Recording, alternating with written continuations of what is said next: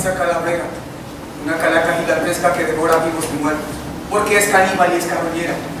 Es un ave de rapiña, un felino salvaje, es perra, zorra, hiena. ¿Y quién inventó la guerra? Nadie, nadie la inventó. Desde que los animales humanos se juntaron, bajaron de los árboles y se reunieron en tribus y en clanes, y defendieron con uñas y dientes sus territorios. Pero tenían toda la tierra. Sí, tierra no faltaba, pero un terreno despejado y labrado era un paraíso.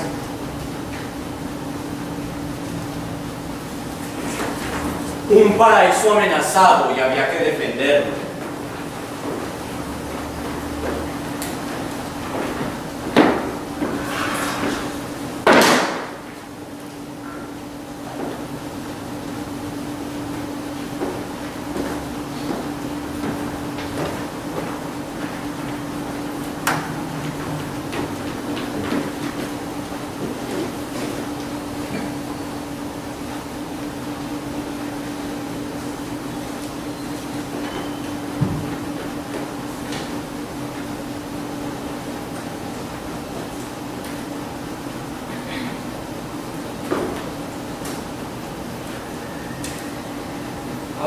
Olvidar, olvidarlo todo. La guerra me dejó sin trabajo, sin techo, sin ropa, puras mechas. La guerra la pagamos nosotros. ¿Y a quién favorece? Porque favorece a alguien. Un puñado de... Un puñado de, de comerciantes vive de la guerra.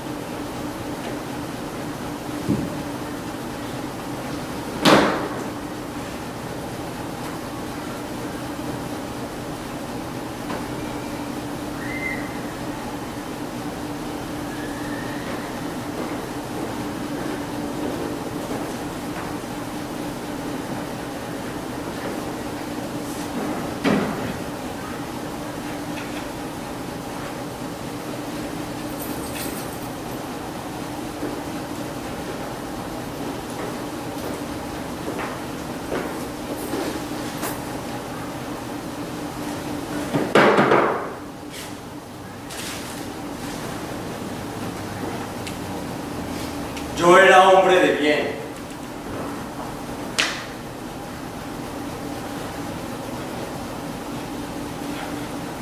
Tenía Tenía animales. Tenía una casa.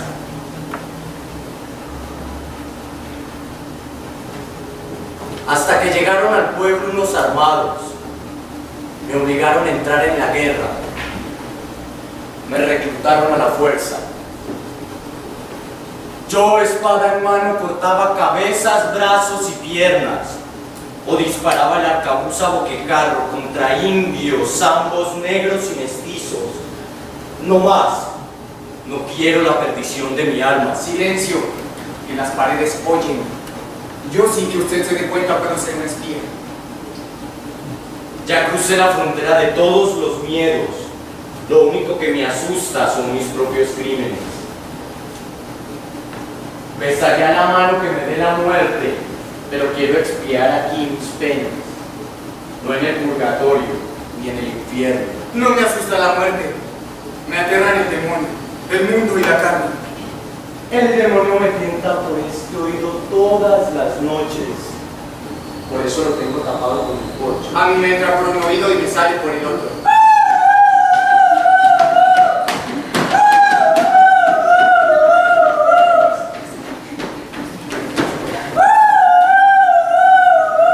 Gracias, señora, por favor. Gracias. Gracias. Gracias. Gracias. Gracias a Dios que mi último hijo es flaco, y enfermizo. Y así se salva de la guerra. De los otros cuatro no sé nada, eran demasiado fuertes y sanos.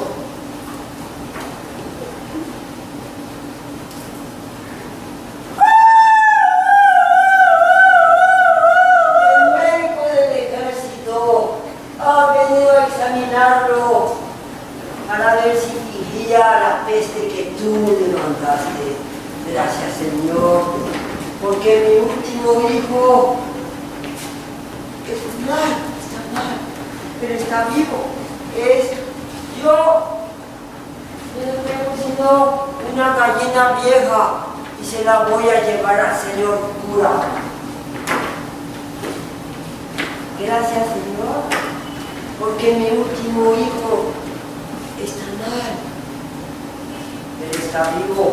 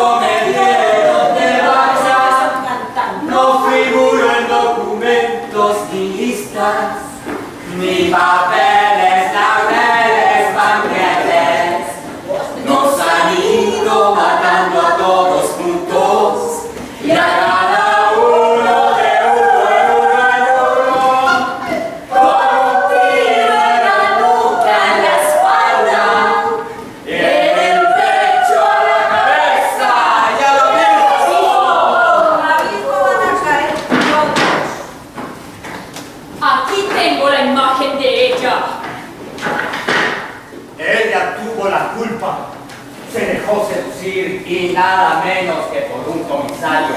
¿Y quién murió? ¿El tal comisario? ¡Tú la mataste a ella! Yo la vi muerta. Tú y el comisario siguen vivos. No quiero saber de conventos. Mujeres. Son solo eso. Mujeres. ¿Quién es ese animal desaforado que orgulloso corre detrás de su erguido cetro masculino?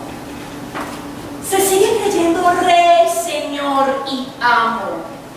Será un pobre violador desvergonzado, un delirante entre una vigilia que me ha confundido con su sueño.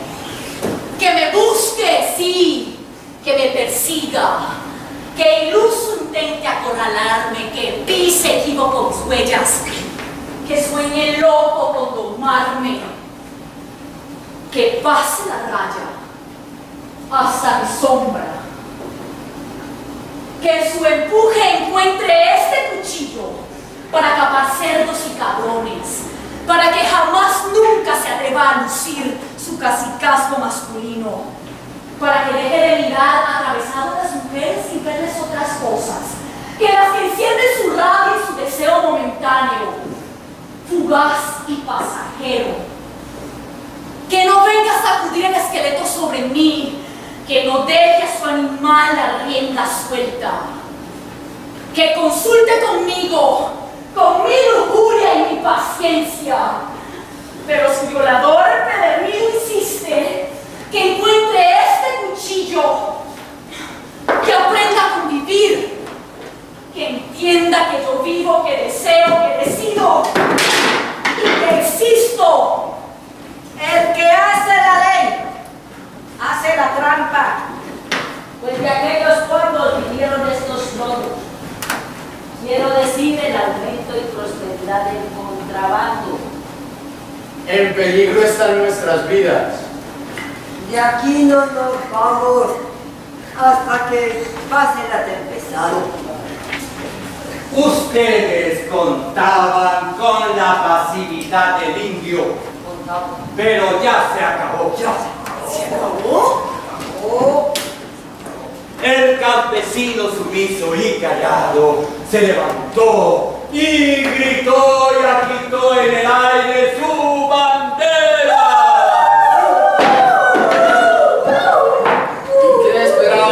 ambos mestizos y mulatos?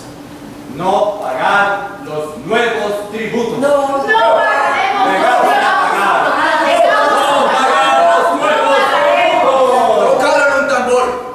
Se reunieron unas 5.000 personas, la mayoría mujeres. Mujeres, claro, mujeres.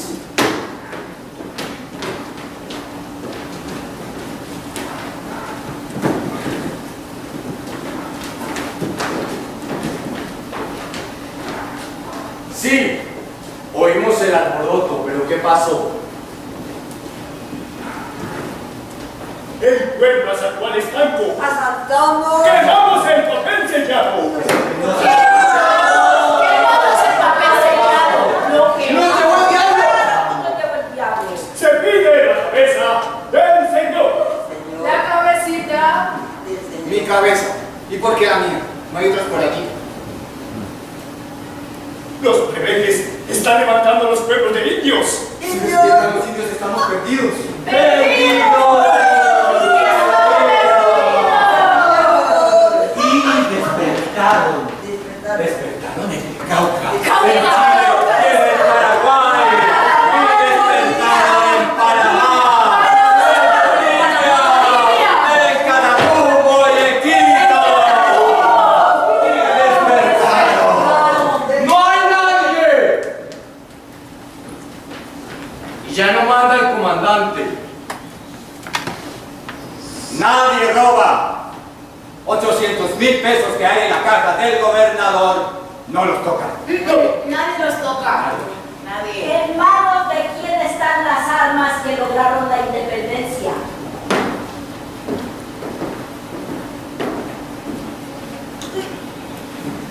En manos de indios. En las viles manos de la plebe.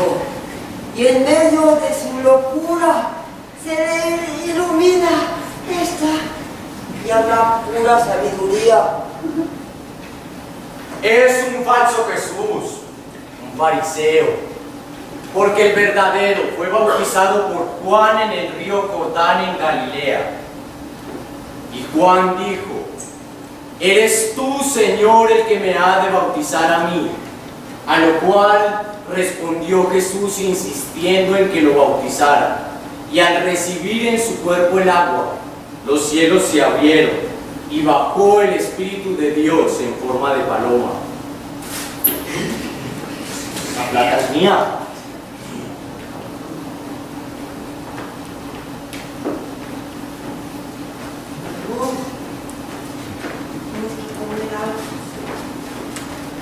¡Oh, no solo de tu que nombre, sino de toda palabra que sale de la boca de Dios.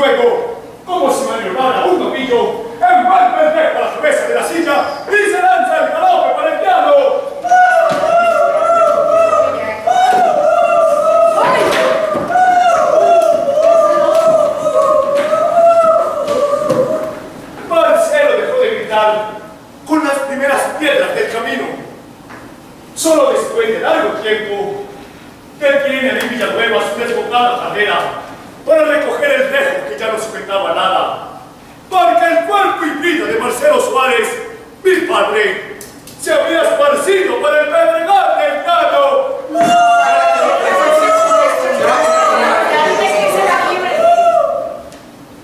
No. No lo maten. No tienen la culpa.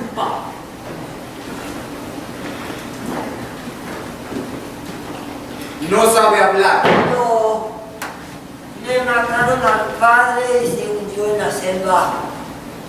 Solo oyó el aullido de las piedras. General, general. El recuerdo de la guerra está vivo, general. Un ejército harapiento, hambriento, de hombres desnudos revolcándose en el lodo.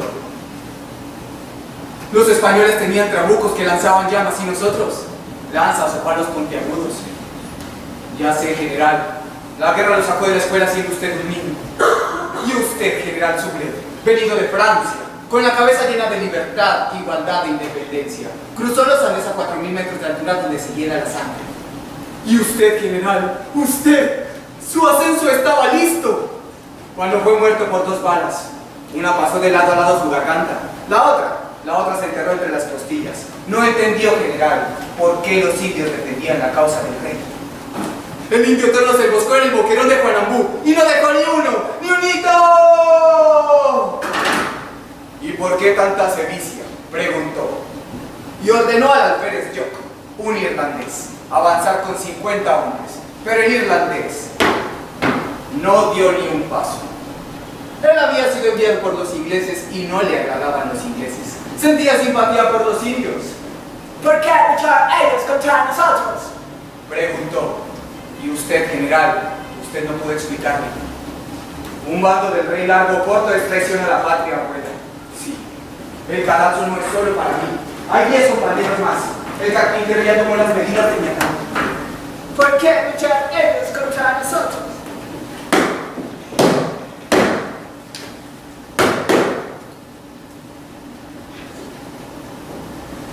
Vistió y alimentó a los rebeldes y les consiguió municiones.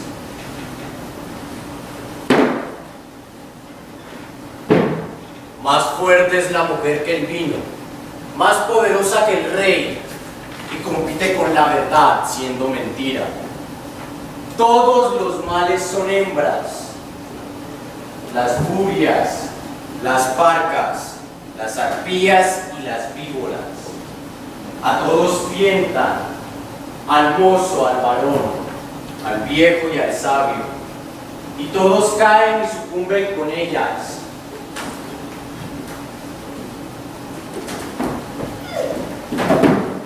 Porque las obras de la carne son opuestas a las del Espíritu en su deseo, y las del Espíritu a la carne, porque son opuestas la una de la otra, y las obras de la carne son manifiestos. Deseo, envidia, lujuria, asesinatos, maledicencias, desórdenes, borracheras, fornicación. La fornicación de Babilonia la Grande, la ramera, la madre de todas las rameras y de todas las cosas inmundas sobre la tierra. Babilonia la maldita, la que se embriaga con la sangre de los santos y la sangre de los testigos de Jesús. ¡Putas, putas, putas, putas! ¡Putas, putas! ¡Putas! ¿Y cuánto va a durar la guerra? Pregúnteselo a su puta madre. Usted sabe sumar. Sume primero las tierras de la independencia cuando las tierras que el rey de España les había devuelto a los indios se las repartieron los generales. ¡Falso! Usted sabe sumar. Sume. Esta guerra empieza en 1899 y se la llamó de los mil días. Esos mil días casi empatan con las primeras violencias. La paz es solo un día despejado en medio de la tempestad. Este es país de guerra. ¡Falso! ¿Y por qué? ¿Por qué es país de guerra? Porque no es país. Sigue siendo colonia y latifundio. Falso, es tierra de leones.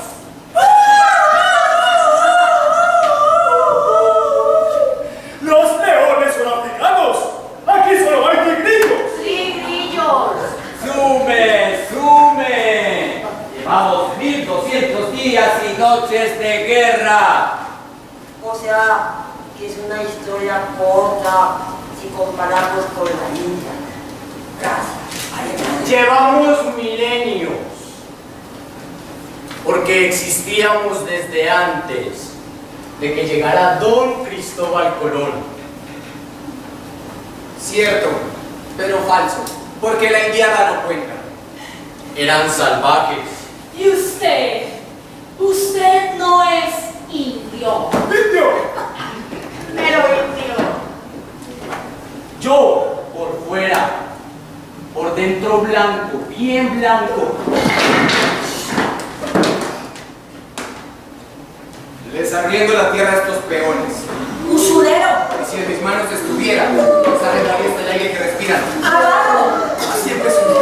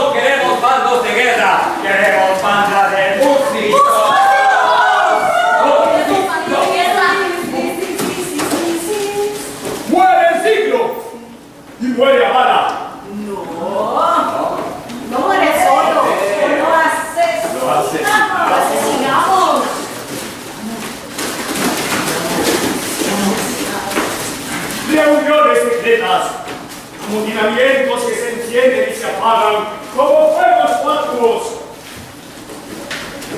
¡Uh! ¡El siglo cayó muerto! El año de 1899 voló en pedazos.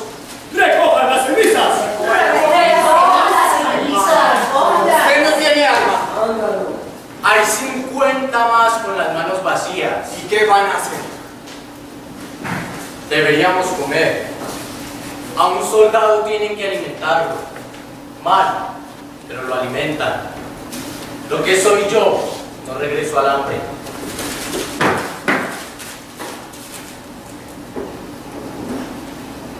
Ya no tengo mujer ni hijo. Murieron de hambre. Y lo que soy yo, no regreso a una choza donde está sentada como una momia. ¡El hambre! Pero que le den un fusil, que le den un fusil, cojan fusiles, sálvanos, cojan fusiles. La orden es quitárselo al enemigo.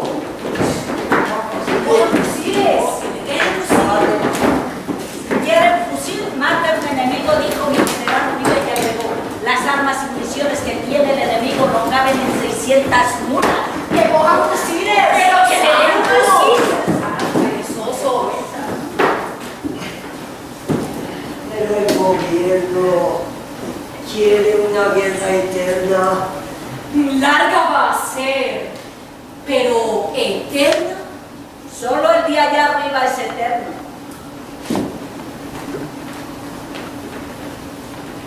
¿Ha visto usted el osario? Un ranchito con una cruz y 2.500 calaveras, una encima de otra. Triste monumento. Las calaveras lavadas por el ventisquero se ríen de la guerra. Gime de noche el viento en las cuencas vacías. Si usted paga la bala, lo matamos con ella. De lo contrario, lo descuartizamos a machetazos. Guiado por el manual del polvorero, un oficial combina el azufre que sacan los indios de las minas con el nitro que conserva la carne y agrega carbón de palo balso. No era la pólvora que fabricaban los técnicos del auto. El encendido era lento, tan lento que cuando el tirador se aburría y bajaba el fusil, le salía el tiro directo a la propia cabeza. El enemigo principal eran las tinajas de aguardiente mezcladas con pólvora. Quedaban a las tropas un coraje suicida.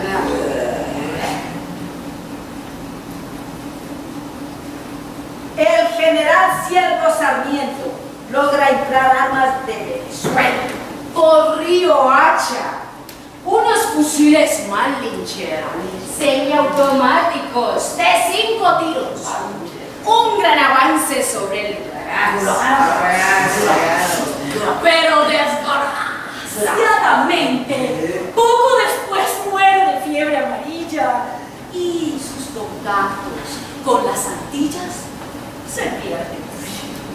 ¿Cuántos son los dueños de la tierra en este país del Sagrado Corazón? ¿Cuántos? ¿Cuántos? ¿Cuántos? Apenas 300. 300.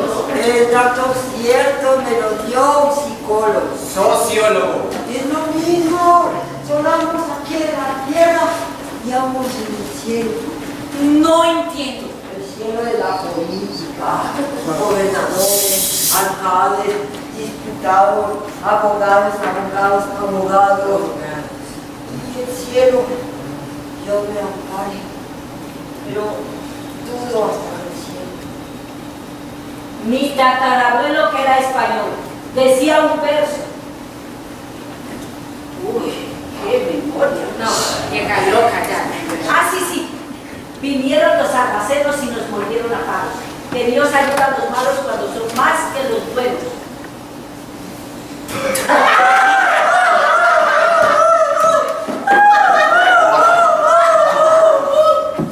¿Qué son los almacenes?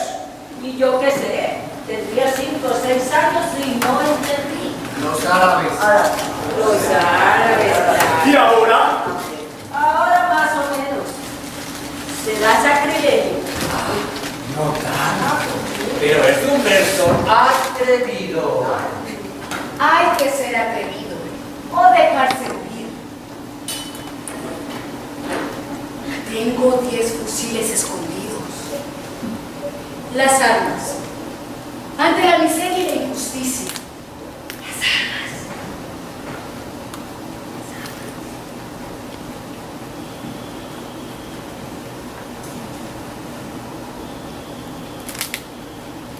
This is más.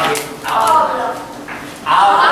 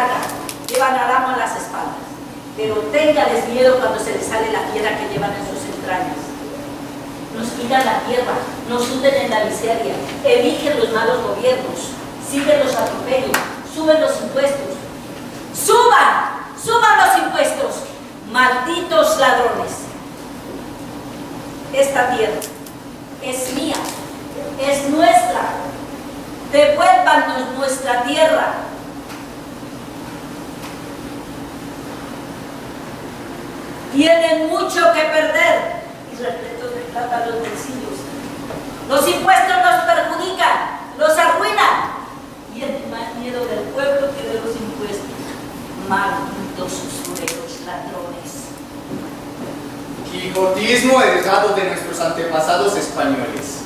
Si este aspecto del quijotismo no hubiera penetrado en nuestro modo de ser, en nuestro modo de ser hispanoamericano, tendríamos en nuestra historia menos escándalos y muchos menos agravios debido a estos y aquellos, al quijotismo intransigente que heredamos de nuestros progenitores españoles.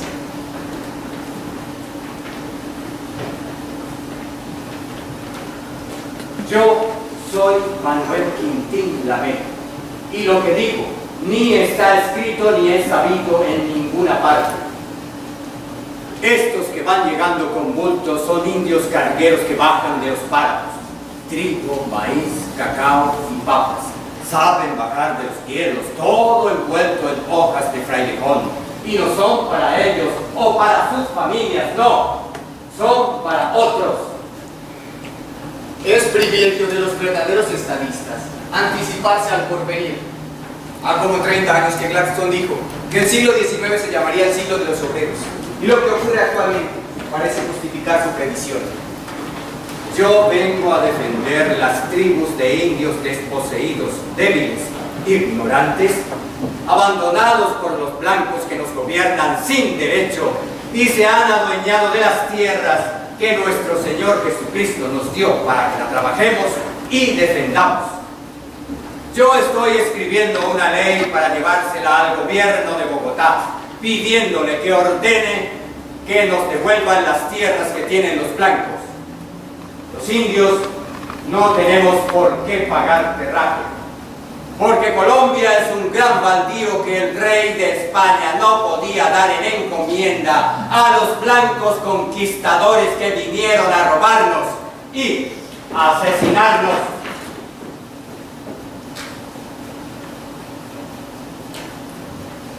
Después de la célebre conferencia de Berlín y de tantos proyectos en que se ocupan los gabinetes y parlamentos, dándole cierta importancia y particular énfasis, tenemos ya, en letra de molde, la anunciada carta encíclica de León XIII sobre la condición de los obreros.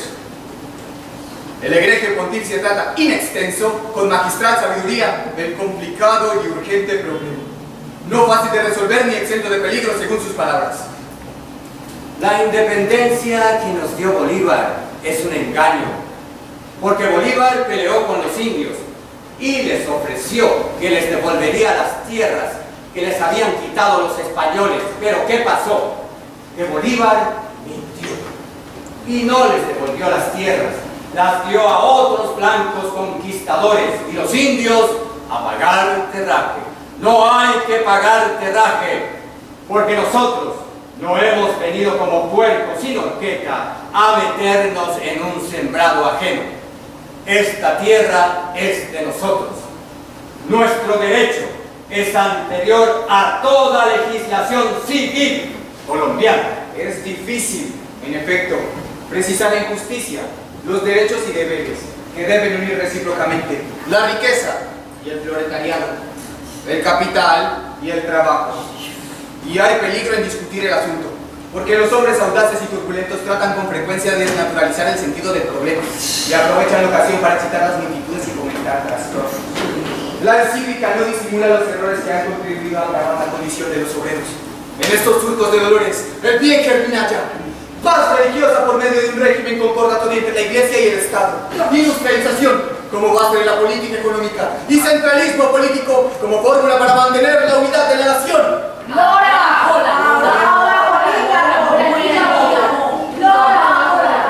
¡Nuestras mujeres! ¡Nuestras mujeres! Dolores Gallego, unión bendecida. Y mi amada, mi amada romana. El amor. Me hicieron aceptar el apoyo irrestricto de los conservadores, paradójicamente menos puritanos. ¡Lograron el divorcio! ¡Lograron el divorcio!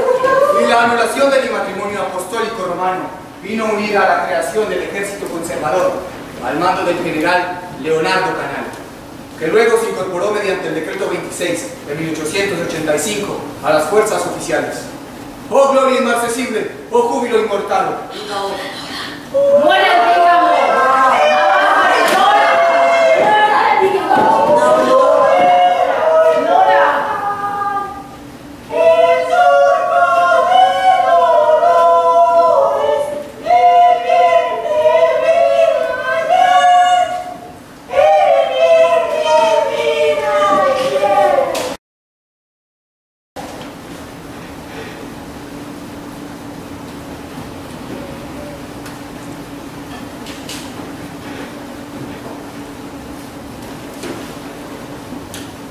Todo lo que dice el himno nacional es falso.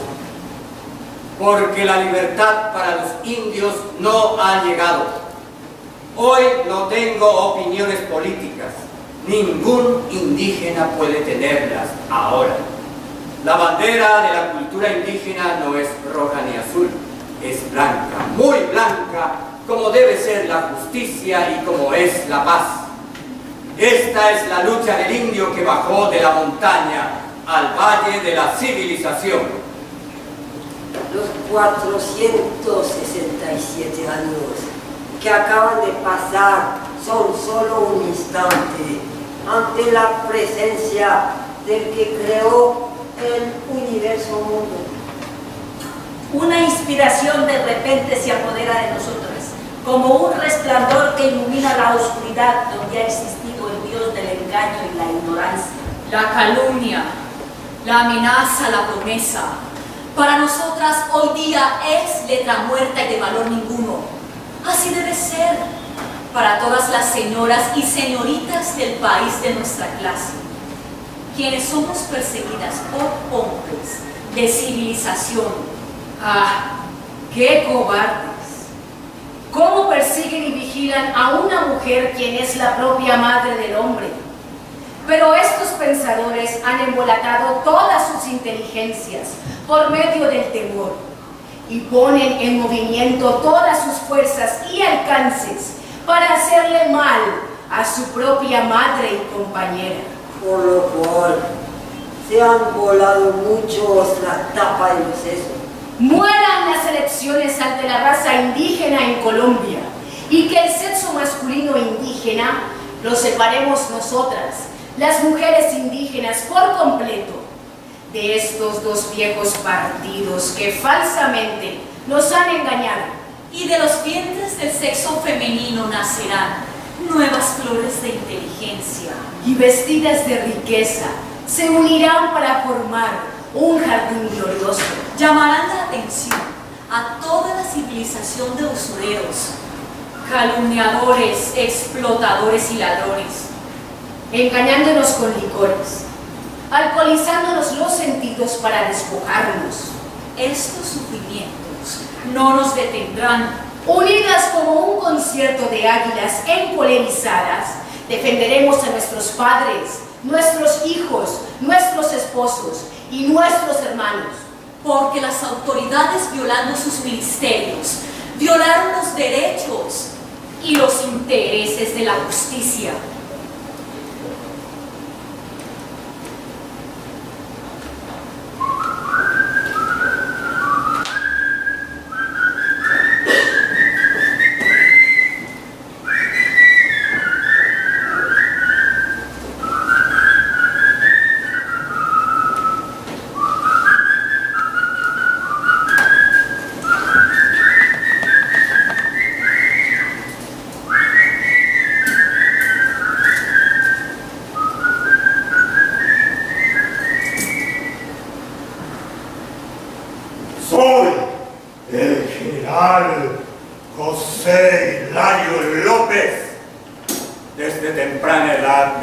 en el ejército libertador.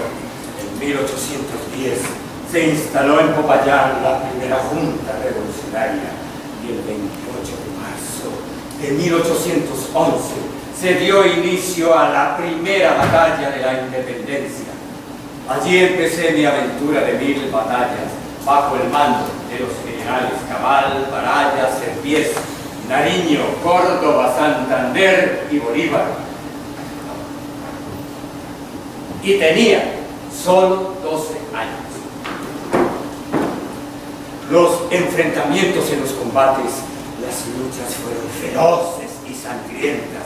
Peleábamos cuerpo a cuerpo, día y noche sin descanso.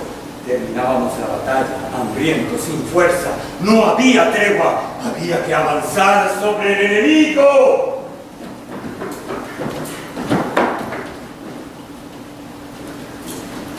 En dura batalla, en los alrededores del río Magdalena, el general José María Pereira avanzó en dirección inversa a sus soldados.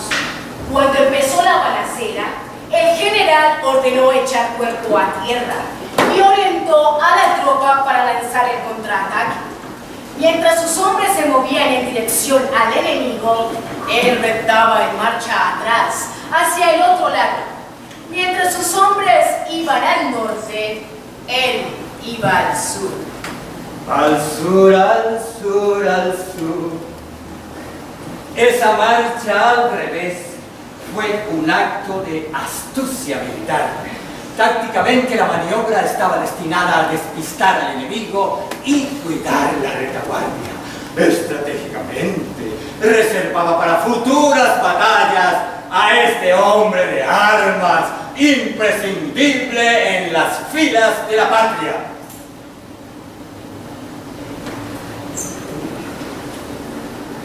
Después de mucho reptar, el general llegó al pie de una selva.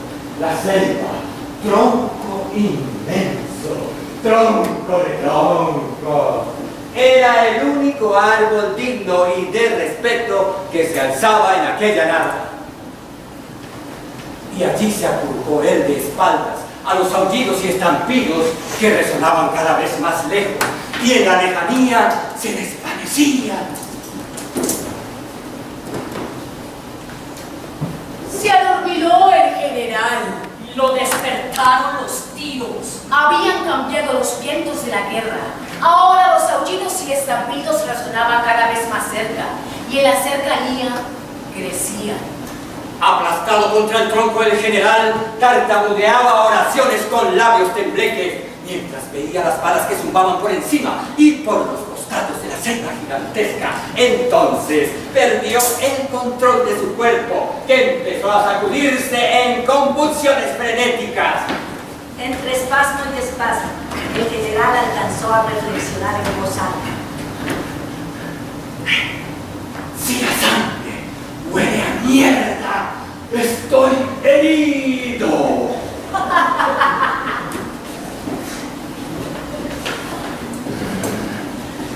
No nos alimentábamos sino de carne cruda de mulas moribundas que encontrábamos en el camino, abandonadas por el ejército enemigo. Los prisioneros de guerra eran fusilados o ahorcados. No temo la muerte, desprecio la vida, lamento la suerte de la patria mía. Siempre creí que el idealismo político liberal de Bolívar era una hipocresía. Un día me dijo, comandante, es usted demasiado honrado. Todo exceso es vicioso y peligroso para nuestra causa. Descontentos los pueblos decidieron poner resistencia y combatir el gobierno militar o la democracia disfrazada y el subdesarrollo al que estamos sometidos.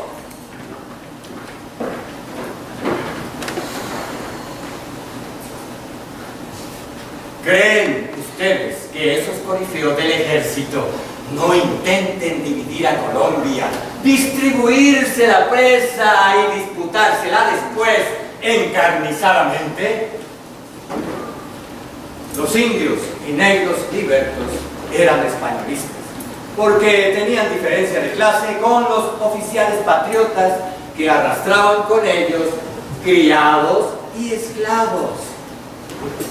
Se trata de nuevos amos, y si es así, preferimos los que tenemos. Los godos se aprovechaban de esas luchas internas. Corre la muerte a lo largo de la fila y cada uno deja de ser uno. La misma muerte para todos la que tumba en la montonera la cabeza ya vacía. Se acabó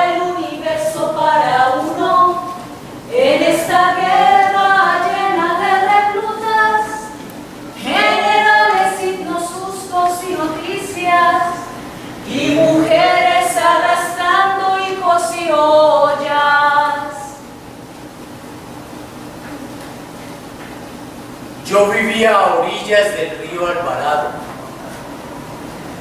Era respetado por bueno y trabajador.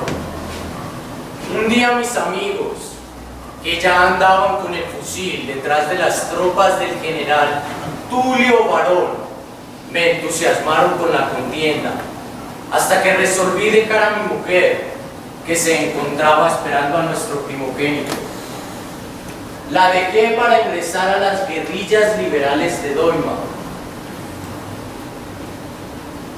El valor y el tiempo me permitieron ascender en el grupo y en pocos meses me convertí en un hombre al que todos señalaban con admiración.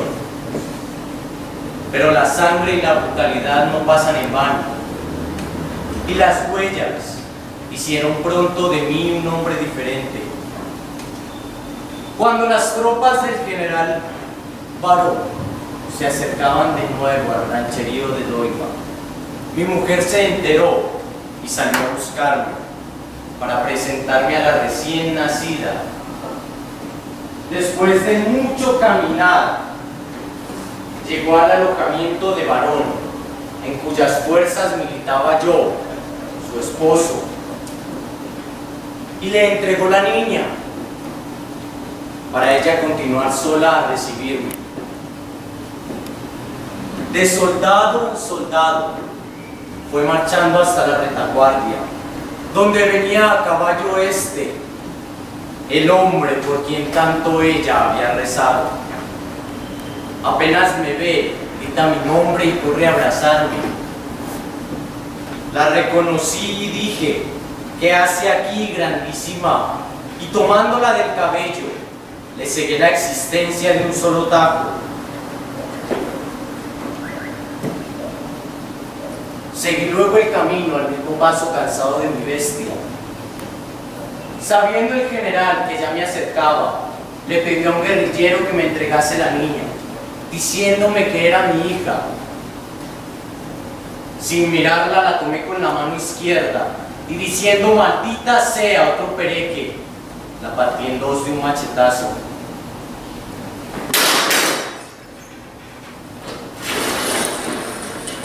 Fui uno de los que se entregó al final de la guerra, para luego perderme con mi desgracia en los llanos orientales.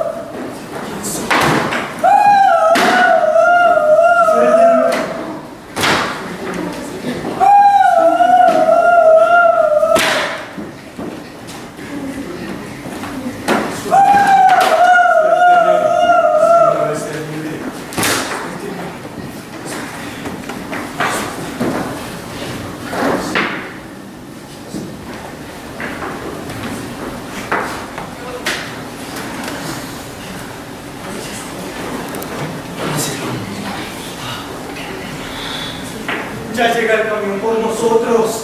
Al camión, al camión. Ay, madre mía, ¿dónde está usted? Quiero a mi madre que es la santidad de figura de mujer. ¿Dónde estás, madre mía? Estás en el cielo. Virgen de los asesinos, me dieron en la cabeza. Malditos. ¿Por qué hacer la guerra? Sí, sí, soy un para. Y ahora aquí soy un para nada. Tengo este lado muerto, soy un medio muerto. Pero estoy vivo. No pudieron acabar conmigo. Están esperando, están esperando. muera. No les voy a dar ese gusto. A ustedes les gustan los muertos, bajarracos, aves de rapiña. Pero tienen razón. Veo la cara de la muerte en cada uno de ustedes. Porque no hablan, que no hablan. ¿Recuerda el teléfono de su madre? Sí, sí, sí, sí, sí, sí, es, es 022 32 30. Nadie contesta. ¿Cómo va a contestar si está muerta? ¿Muerta? Sí, sí, todos estamos muertos. Anoche soñé que estaba vivo y al despertar todavía estamos vivos. Me di cuenta de que todos estamos muertos. Usted se dejó quitar el alma por los chusmeros del general Uribe. No entendió la misión celestial. Matar un rojo. Hay nefastas noticias. Se dividieron los conservadores en dos bandos, nacionalistas e históricos por causa de las masacres. La zona está contaminada.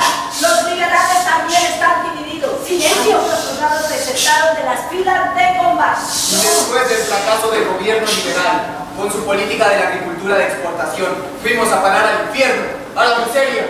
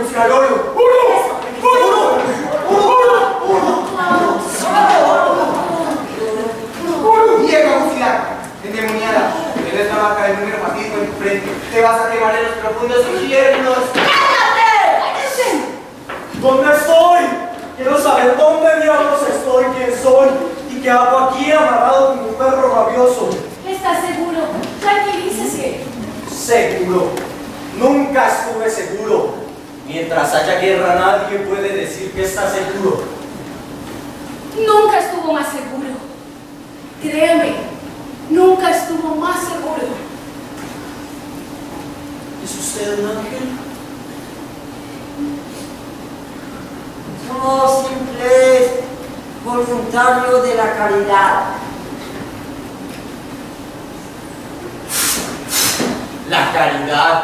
Nunca tuve caridad con nadie y nadie la tuvo nunca conmigo. Dios la tiene con todos. Dio su sangre por nosotros, sangre. Y la que yo he derramado. ¿Quiere confesarse? Sí, sí. Pues que confiese. Con usted. ¿Confesarse? No, con el señor cura. Solo creo en Dios. Con Dios me sobra y con Dios me basta. Pero usted tiene alas como el Espíritu Santo. Cállese. No, no, no llore. Ay, no más, no llore. Me voy a morir, ¿verdad? Me voy a morir pronto. Es algo que se presiente. ¿Vio alguna vez un zorro?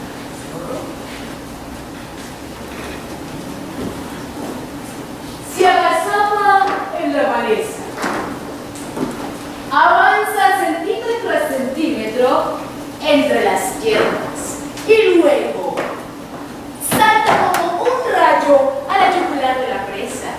Así es la muerte, haga de cuenta. A todos nos va a llegar. Nadie se escapa. Pero eso no me consuela, nada me consuela. Suéltenme, suéltenme, nadie me amarró nunca. He sido una bestia libre, libre para vivir y libre para matar. No me gusta matar, pero no hay escapatoria. Matas o te matan. Fe, fe, la fe, fe salvará de buen Señor.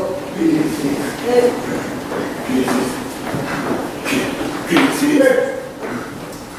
¡Crisis! ¡Crisis! ¡Los gobernantes estafan al pueblo! ¡Crisis! ¡Crisis! ¡Crisis! ¡Crisis! Siempre nos hablan de crisis. En las tripas tengo yo crisis. Cuando a las tripas no les cae un mendrugo de nada, empiezan a comerse unas a otras. Se devoran la barriga. La barriga es un nido de víbora. El hambre, el hambre se enloquece. Hay que asesinar para sobrevivir. Hay que asesinar para sobrevivir. ¿Dónde estoy? Virgen Santa, Virgen de los infelices, protégeme, señora. Está en la clínica más elegante que pueden imaginarse. ¿Clínica? ¿Y por qué?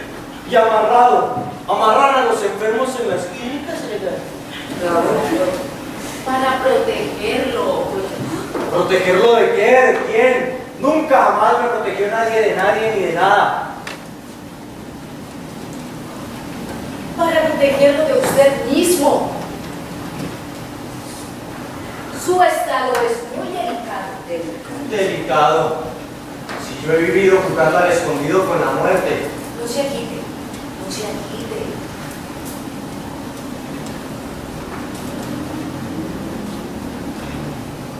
¿Ha visto usted la muerte?